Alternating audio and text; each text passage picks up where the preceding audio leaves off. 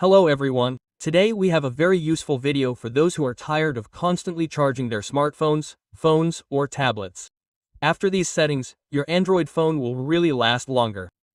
I'll tell you about the main battery problems. Why does the battery drain quickly? Sometimes you buy a new phone, it holds a charge very well, but after 2 to 3 months you notice that the phone doesn't last through the day. For example, you wake up with a 100% charge, go to work or somewhere else, and by the evening you have 15 to 20% left, which means the phone lasts until about 8 am without active use. Only regular calls, social media, browsing, watching videos, YouTube, and so on. And for those who play games, the phone lasts a maximum of 4 to 5 hours, regardless of the Android version or phone model.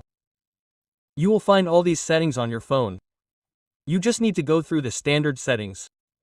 If you have difficulty finding any settings for your model, let me know. You can use the search bar here, which will take you to a lot of similar basic and advanced settings.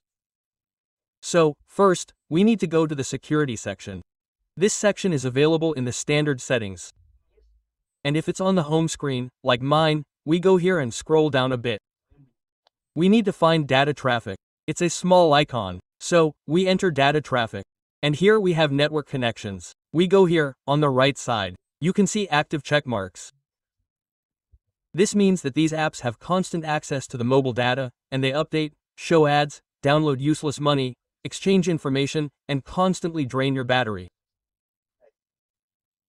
Of course, when you have two or three apps, it's not a big deal, but when you've been using your phone for two or three months, I'm sure you have about 100 apps, including system apps, which are all listed here and each app is updated about two or three times a week. But that's just the update. Data exchange happens very frequently, even at a certain time every day. And I'm just talking about one of these apps. They exchange information even when you're not using your phone. They just need to connect to your mobile data.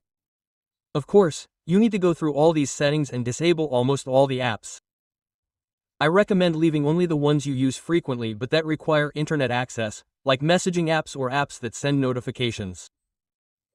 You can disable everything else, and this will significantly save battery. Next, in the upper right corner, there's a small arrow that you can slide. If we slide it, we'll see hidden Wi-Fi networks. When connected to Wi-Fi, these are the same apps, but they're accessing your Wi-Fi connection. I would have already disabled many of them. You see, I have almost everything disabled, but some apps still send independent Wi-Fi connection requests when downloading something new. So, you can go through the unnecessary apps again to reduce battery consumption. After that, you need to tap the three dots on the right. There's a setting here called Background Connection. Click here, and we'll go to another menu with other apps. If you haven't been here yet, be sure to find and visit this section, because in the background, when all these apps are running, they can launch processes to support the operation of certain apps. This affects your RAM and constantly loads the phone, which leads to an increase in the processor frequency. All of this, of course, drains the battery. Perhaps this is not so noticeable for those with a battery capacity of 5000 mAh or more. But even with all these settings enabled, as I'm showing you now, the battery still drains quickly. Try checking all these settings, connecting and adjusting them, and you'll definitely notice a significant improvement in battery life. As for background connections, I have almost everything disabled, but some apps still show up at the end. When you download something new, they automatically send a request to connect to a Wi-Fi network.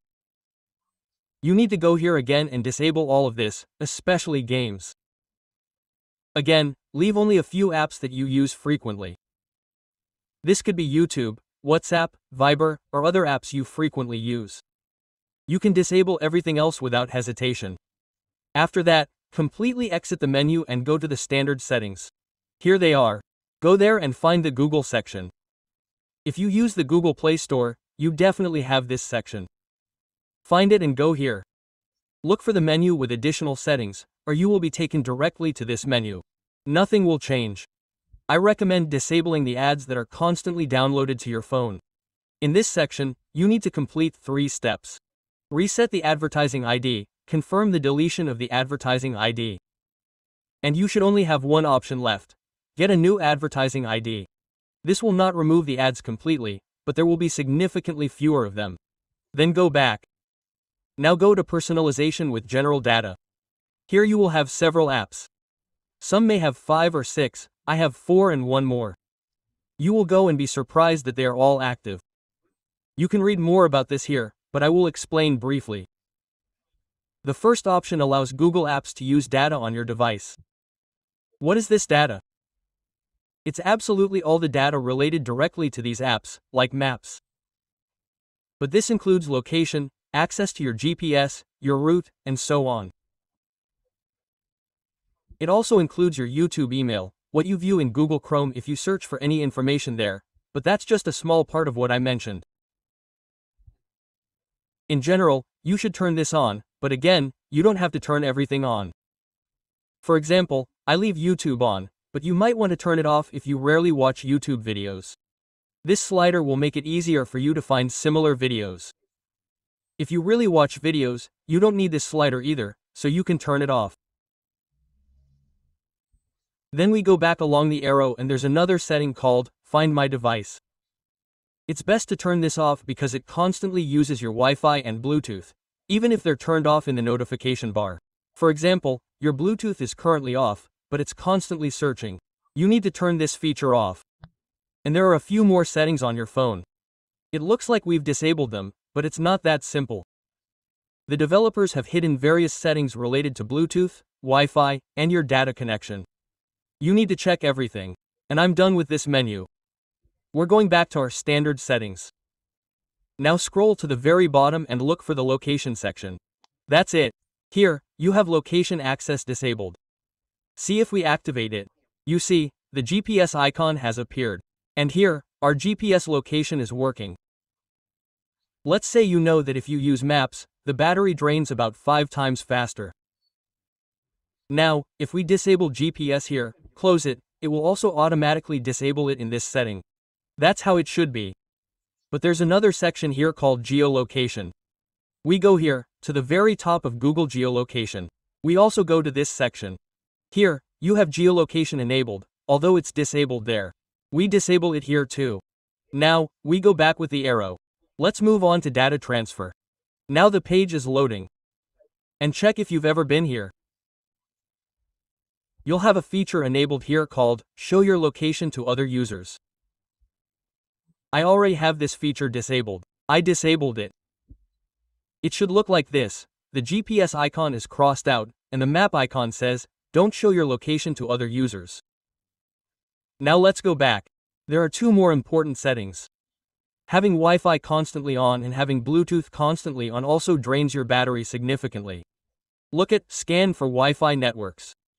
I go to it, it's enabled to allow apps and services to scan for Wi-Fi networks, even when Wi-Fi is off.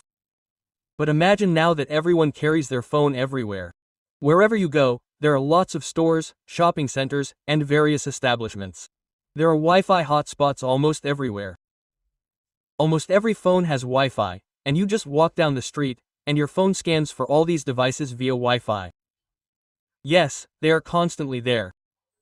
They all change on your phone, but you don't even notice it because you don't go into those settings. And this constant, unnecessary searching also drains your battery. In any case, all these found networks, most of them, are password protected. And if you even need to connect to Wi-Fi, as we usually do, you just go to the Wi-Fi settings, enable manual searching, and find the right point. But this setting is completely useless. We disable it, go back along the arrow. Don't look at the Bluetooth device. It says the same thing there. Even when connected, Bluetooth still works. Here it's off. Now look at Bluetooth in general. Well, almost everyone has it turned on these days because many people carry wireless headphones, and Bluetooth should be on and working by default. But this applies not only to headphones. Some people have watches, some have wireless bracelets. While the situation with Wi-Fi is still somewhat debatable, the situation with Bluetooth is generally even worse. So, let's take this feature and disable it further. Return to these settings. Return to the standard settings. Type the word auto start in the search. You don't have to type the whole word, it depends on how you find it. Here we found auto start in the background. For sound, it will simply be auto start. Or if you can't find auto start, search for background modes, background connection, or similar names. Go to this setting.